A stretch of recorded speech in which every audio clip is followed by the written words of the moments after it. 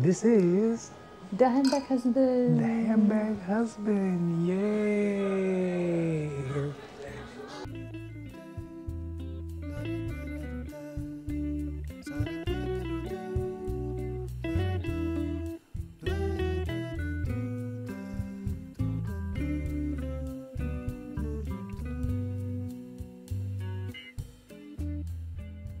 We are at the end of our trip here through Asia, doing our Hermescapades.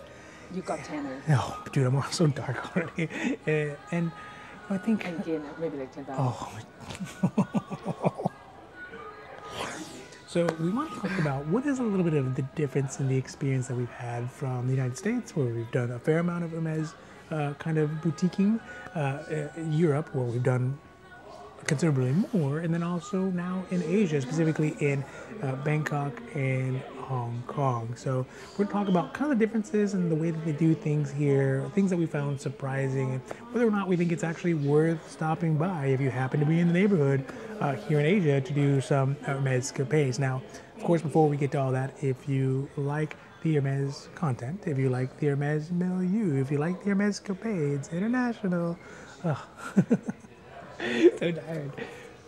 Please don't forget to like and subscribe because it does really help the channel grow. And of course, we are so, so thankful for that. Thank you. But also because it means you get notifications when our new long videos come out, our short videos come out, and all the stuff we got on the socials at the Handbag Husband. We got new Hermes content coming out every single week. All right, let's talk about a little bit of those differences between the US, Europe, and Asia. So on this trip specifically, we have gone to how many stores it total? So let's start counting. So, So we're not going to count the airport ones though. Are we counting the airport ones? Let's, I don't know. Let's count the airport. We'll just do Sure. it chronologically. Because So, because Hong Kong just flopped on us. ah, yeah. We're supposed to be three and instead of two. So I'm like, okay, let's, Yeah. let's okay. Yeah. So Uh, so we had LAX, right? We had um, Icon Siam, Icon Siam in Bangkok, Siam Paragon, Siam Paragon, the second one in Bangkok. Then we had the Bangkok, Bangkok International, then- yeah. right? Yes. Then we had uh, Landmark Prince here in Hong Kong. That's the boutique. flagship, yeah. the flagship, and then finally our last one, which is the Hermes boutique here in the Hong Kong uh, Airport. airport. Yes. Okay, so we made a pretty big round uh, of it here in you know Southeast Asia and, and Hong Kong. Mm-hmm. Um, again, we were supposed to get to more, but in Hong Kong, like four or three, but we only made it to one with good reason, primarily because we got a non-quota bag as well as a quota bag in our first visit, and the visit was four hours and sucked up basically all of our boutique time. So we'll, we'll get to that story in another video. But what we want to cover here is kind of what is different. Why why is it different? How do they do things different here? And I don't know, just kind of overall general impressions. How do you feel like Asia does things different than maybe the U.S. as far as Hermes boutiques? Uh, I don't know. Uh, more bag candies, I guess.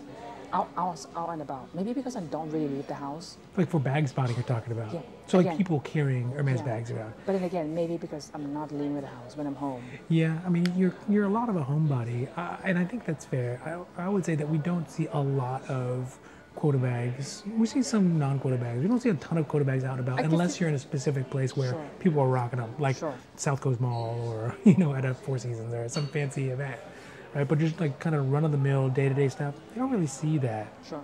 I think that um, one thing that we notice here in Asia is just kind of personality wise, as far as style goes. We, we talked about a little before, where things are literally just more is more, right? Like they just they wear full, I think that's one in Bangkok. I mean, Actually- especially in I Bangkok. actually Yeah, thought Hong Kong would be like that. And Yeah. more. But actually, no. there's a little more subdued. Yeah. There's a little more subdued. Yeah. Um, yeah, so Bangkok is more is more, right? So they just have everything. They, the watches, the, the outfit, everything just looks perfect, and they just when it's when it's all done, they add a little bit more on top of it, right? Yeah. And that's just stylistically. I think that the boutiques that we visited in Bangkok really gave us the idea that although they don't have a local non-local policy, But I feel like the system is very much like in the US, I think. in some ways, yeah, in some ways, but they don't have the non-local local policy. They, they didn't tell us to go back to our home store Sure. to attempt to uh, go there, which we get a lot at a lot of times. In a lot of the spaces we go to, they "Oh, just go go to your home store and work it out." Which, you know, as you all see, it's a it's a work in progress. So I think that you know,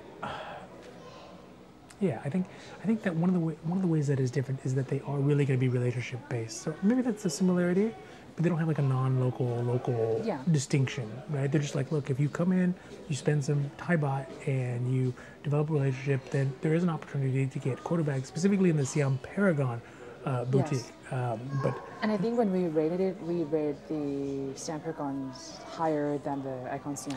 yeah, like it's less Yes. attractive, it's less good looking, it's less new, but I feel like a lot of the bags that are coming into Bangkok, Yeah. if you're getting bags in Bangkok, it's more than likely going to be in the SSA, Siam. I, yeah. I can Yeah. guarantee you that And we, we, S- ca- we, we don't know when, but yes, you will get a bag. So the SA also Wheeling apparently had, was wheeling and dealing, right? She had some juice, right? And so that is a different experience than when the SA is just like, well, I don't know, we just don't have any bags, so I hope you have a good day, right? Yeah. not just a great day. So, um, yeah, so the, the uh, that's interesting with Bangkok, but I think it would require a lot of time and energy and baht uh, to do it, which is not that different from other places, but Mm-hmm. Yeah. just just that relationship thing they're focused on. For sure. So that's the other thing. The other side of it was that um, in Bangkok, specifically when we were doing bags spotting, we saw a lot of quota bag, mini quota bags, right? So Kelly Brick and Constance's, we saw a fair amount of those Like just Kel- walking Kelly around. Pochette and Mhm. what else? I think it's because at the Four Seasons, the, the hotel that we stay, Yeah. there are always events going on, like Yeah, so weddings, whatever. there was like so, black so, tie events and stuff. So people will bust out their small bags, which makes Yeah, sense, like yeah. for like a night event. Mhm. Yeah, so it makes sense. And they also mentioned that the things that are that are popular here in Asia are obviously smaller bags. The, in Bangkok, more the minis, Yes. as well as Epsom leather. And folks are not into uh, Box and uh, uh, yeah, Barenia or Swift leather, those kinds of things. No, they want Swift. Wait, they want they want Epsom, but they don't want any box. That's right. They don't want box. That's right. They want they don't want box, but they want Epsom, Yeah. which is you know, a bit of anathema to us, but you know whatever the preference is, that's totally fine. So. I think overall, the big difference between the U.S. and Bangkok is the stylistic ways that people interact with their masks. Like they just wear everything all maxed out to the max. Yeah. Um, the SAs say that they need a relationship to develop, but they are like, if you develop a relationship, we'll get you a bag. No questions asked, right? Yeah. It's just a matter of time, essentially. Yeah. And then um, that they don't have a preference for local or non-locals. They're cool with long-distance relationships and all that kind of stuff. Because which- she said like, oh, you come here twice a twice yeah, a year. Yeah, yeah. If- that's perfectly yeah, fine. they're like that's totally fine. So I think that's the benefit for Bangkok. So let's talk about Hong Kong. Oh, and again, our We only visited one. our relationship is relatively new with Hong Kong. We've never been to Hong Kong boutique ever before. We have no spend. We have no relationship. Um, and we did end up getting a quota bag and a non-quota bag, an amazing quota, like per- perplexingly amazing quota bag. Like why we got Five, it? five, five. Yeah, Five, we five, five, can only five, five, five. speculate. The the customer service was amazing. They far exceeded our expectations here in Hong Kong.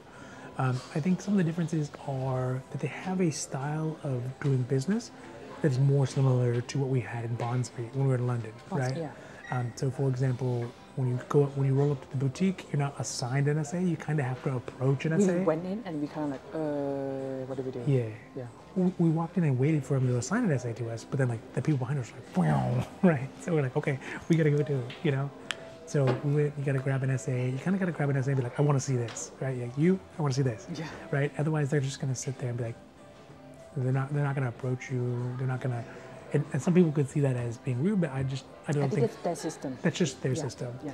Um, the more important side of it is that they have a not they, they don't have a quota bag non. So we asked like, oh, do you have what's the quota bag non-quarterback thing? What's the free spend? Do you have a local versus non-local? And our SA just laughed. He's like, he's like, we don't have any of that. We don't have any of that, right? So I think they really are set up for kind of a transactional, international people coming in, swooping in, and if they seem like they are the right people, uh, In they, this they case, are. Yeah in this case, happened to be us. I don't know why they picked us.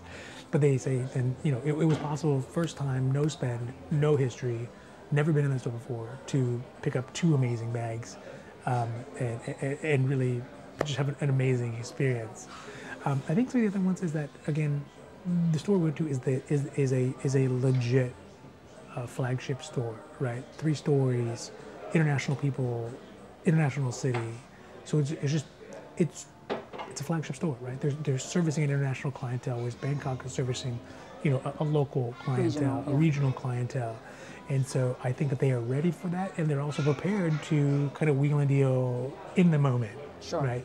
If you come in and you develop a good rapport with them, and you're spending some Hong Kong dollars, um, then Which is so confusing. of course they are uh, totally open to long distance relationships, and are they even saying to be okay with the one night stand? I don't know. You know, it's what it seemed like. Um, so, but again, the the professionalism, the quality, the fact that they, you know, they weren't like, oh, this is the one quota. Not this is not this is the one bag I get a year, right? They're like, we got quota bags. It, It's Yeah. almost seemed commonplace for them to have them out there. Yeah. So I think that if you are coming to Hong Kong, go to Landmark Prince, and you know, Try. do the best you can to develop a relationship is in, in the moment. And uh, I think there's a good possibility, very good possibility that you can get a quota bag again, which is again very contrary to what we've had in Topanga or you know what we've heard about in Beverly Hills, where the people are at five to one, three to one. Uh, for us, we're at Very two close we're very two. close to two to one, and almost a year of relationship and not just buying, you know, the easy stuff. We're buying all the other things that we, we like, like the Cheval d'Orient, the plates, the home goods, the ready to wear. All that's there. But I just think that some of those stores are set up in the U.S. in a way that they just they just don't get they just don't have the bags to basically sell, regardless of however you're maneuvering your, your spend. You know. Yeah. Whereas here in Hong Kong, it feels like they're they're ready to go, right? If you if you put in the good faith effort, we'll call it, then they're like, bam, done. Oh, one other thing interesting, uh, I guess in comparison, is the Lindy thing, right? Um, it seems like Hong Kong is filled with Lindy bags, like just everywhere, just on top of each other. There's so many people with Lindy bags, which we thought was interesting because you don't really see that much back in the U.S. I mean, people have them, but not to the same level or the same Yeah. degree. So I don't know. In the US, we have Evelyne's. Yeah, you get of kind of a lot of Evelynes. You get some Roulis too and stuff like that. But uh, here, huge amounts of Lindy's, mainly small ones. But we've, seen a couple of larger ones. Uh, no, I haven't seen any Picotins. I haven't seen any in the loops. Have you seen any in the loops? I don't think so. No. Yeah, you don't really see a lot. So I think. It's either Kelly, Birkin, and Lindy. Wait, Yeah. sorry. Lindy is the most, Yeah. like times 10, yeah, maybe? so, so maybe the people who would have got the in the loop, people who would have got the Picotins, they're all just got Lindy's. Maybe. Yeah, which is cool because Lindy's a cool bag, and I like it better than Picotin for sure. But so I don't know. I don't know. Maybe that's a style preference. I do think the bags here are a little bit bigger, right? Bangkok was really focused on mini bags. Uh, Hong Kong seems to be kind of like the mid-range of the small bags, right? So it's not uh, not big big bags, but not small small bags, kind of in between there. Um, and I think that makes sense because you see a lot of people actually using their bags for day-to-day stuff here Sure. especially those Lindy's. They're using them on the on the metro, on the subway. Yeah. They're going to and from work. Uh, they're not just busting out their mini CBKs to, to, to flex on people at a wedding. Yeah. yeah. So I think that's interesting, and I think that probably leads to a different kind of environment overall for Hermes in general here in Hong Kong.